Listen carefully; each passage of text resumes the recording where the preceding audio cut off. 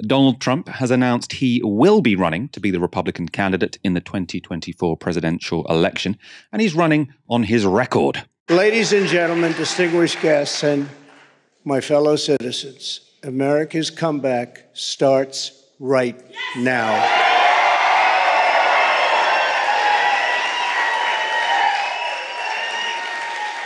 Two years ago, when I left office, the United States stood ready for its golden age.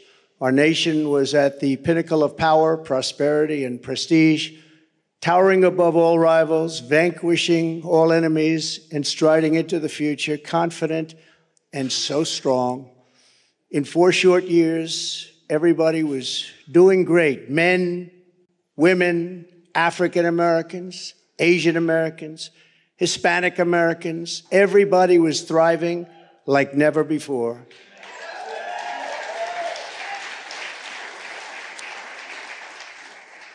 There was never a time like this. We turned the page on decades of globalist sellouts and one sided trade deals, lifted millions out of poverty, and together we built the greatest economy in the history of the world. When the virus hit our shores, I took decisive action and saved lives and the U.S. economy. And by October of the same year, America was roaring back with the number one fastest economic recovery ever recorded. How about that? Of course, Trump didn't respond decisively to COVID. Instead, um, he went on television suggesting people could try injecting bleach but even if it was purely coincidental, he could, in theory, have a decent economic story to tell about his time in power. In particular, inflation was lower than it is now. As I say, this was purely coincidental.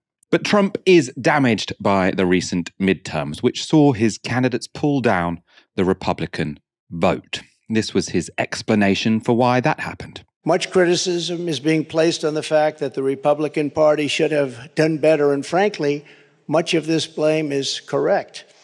But the citizens of our country have not yet realized the full extent and gravity of the pain our nation is going through, and the total effect of the suffering is just starting to take hold. They don't quite feel it yet, but they will very soon. I have no doubt that by 2024, it will sadly be much worse, and they will see much more clearly what happened and what is happening to our country, and the voting will be much different. 2024.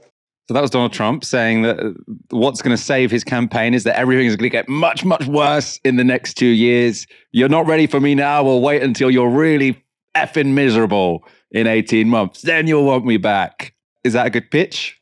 I mean, as it stands uh, right now, I would say that Donald Trump has a very weak uh, pitch. Things change very quickly in politics, so I don't know if that's going to be true for a long time, but as it stands now, it's very weak. And I think that there's one reason for that. I don't think it's actually necessarily to do with his presentation of things.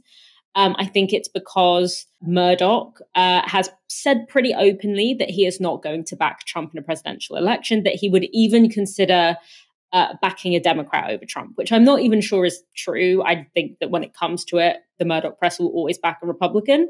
But uh, clearly, he's trying to essentially bluff about it and is and is very serious about the extent to which he doesn't want to see uh, Trump win the primaries. And I think without that clout, uh, without that backing by the media establishment, without you know Fox News, without the New York Post, without the Wall Street Journal, um, I think it will be very tough um, for Trump to win another election. So I don't think he's in a strong position to run right now, and and I don't think it's because of some uh, sort of revelation or moral uplifting within the Republican Party. I think that the core of the Republican Party has been fundamentally changed by Trump. I think the the space in terms of like the the the, the space rightwards that the uh, Republican Party operates in that Trump created is still very much there. I think Trumpism also made the Republican Party very aware that there's an incredibly fundamentalist, uh, extreme base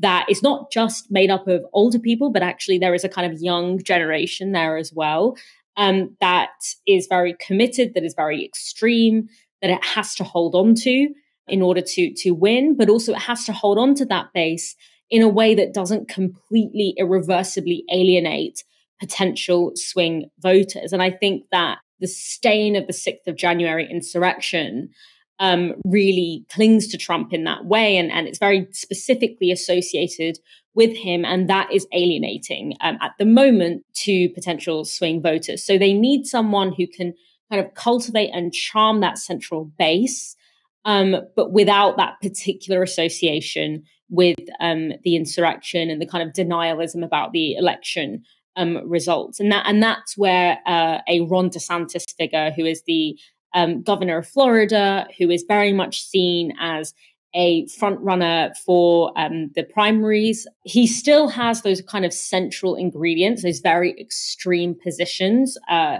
he is against abortion, even in the case of incest and trafficking and rape. He's trying to ban critical race theory. He's very uninterested in climate change. He's very much about lowering taxes, government spending. He was also very, very bad on um, COVID in a similar way to Trump in terms of, you know, not really putting in uh, stay at home mandates, not locking down, etc., not having a mask mandate even at the height of the pandemic.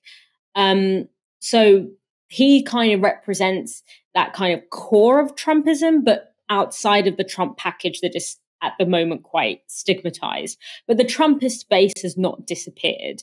Um, the effect is still there. But I think that for, for Murdoch, for the Republican establishment, he is too much of a political liability at the moment because of that association with, with the insurrection. Uh, things can change. So I don't, um, you, you can't hold me to it. In a year, it might all be different. But if the primaries were to happen tomorrow, I think it would be very difficult for for Trump to win them.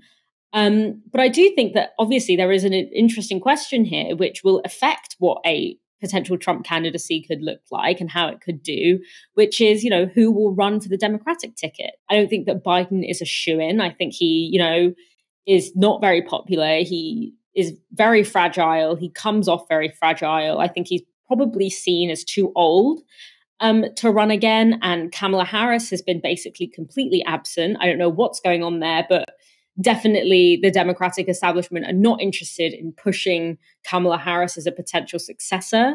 It's an interesting question, you know, and it will probably impact uh, how well a Trump candidacy uh, would go. So for me, that that kind of question of who would run on the Democratic ticket is is thrown up there as well. Of course, it might just be Biden anyway, but I don't think it's as certain as it otherwise would be um, if it was any other Democratic president.